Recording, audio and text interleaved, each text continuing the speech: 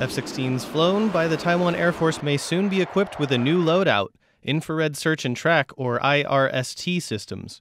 These systems can track the tail flame of aircraft and missiles and even send that information to onboard weapons to assist with target locking. That's because the United States government approved a possible sale of IRST systems to Taiwan at a value of about 500 million US dollars on Wednesday. However, the announcement is not taking place in a vacuum.